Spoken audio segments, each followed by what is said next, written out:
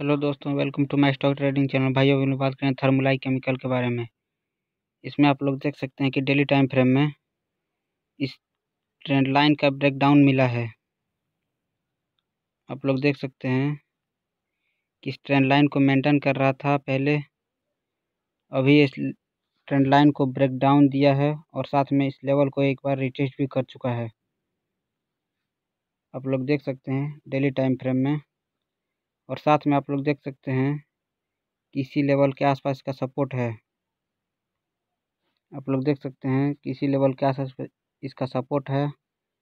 यदि ये कल के दिन टू हंड्रेड ट्वेल्व को यदि ब्रेकडाउन देता है और यदि इसके नीचे यदि फिफ्टी मिनट का कैंडल जैसे स्टैंड करता है। तो आप लोग इंट्राडे में शॉर्ट लिए जा सकते हैं। और यदि इसको हम लोग आवरली टाइम फ्रेम में देखें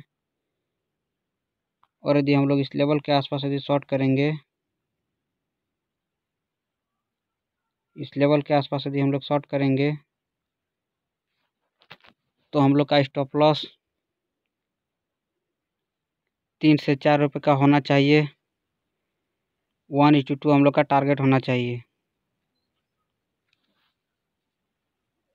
इस लेवल के आसपास हम लोग का टारगेट होना चाहिए।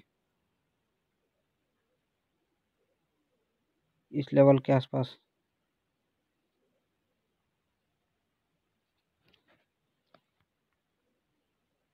क्योंकि आप लोग इसमें देख सकते हैं कि इस लेवल के आसपास इसका सपोर्ट है।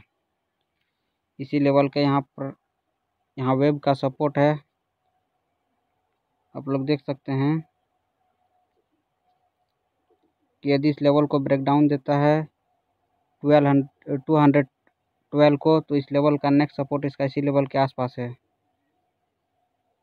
यदि वीडियो अच्छा लगा है तो कृपया वीडियो को लाइक करें, चैनल पर नए हैं तो चैनल को सब्सक्राइब करें। Thank you